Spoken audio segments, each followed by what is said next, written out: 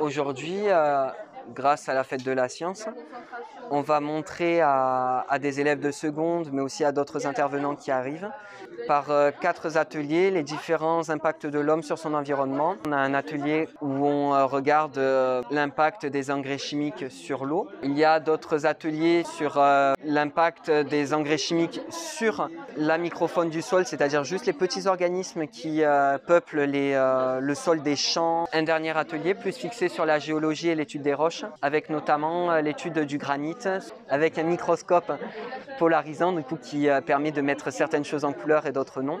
Vous avez vu du coup que les algues, il y en avait plus quand c'était des milieux en sels minéraux.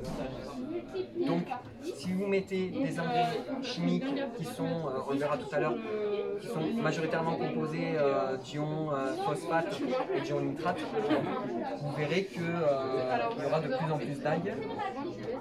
Ces algues, ensemble, eh ben, vont s'agrandir, elles vont prendre beaucoup de place. Ça va développer des bactéries, les bactéries vont se nourrir en dioxygène. Le dioxygène, il y en aura de moins en moins. Donc euh, la faune marine, elle va mourir, les poissons, etc.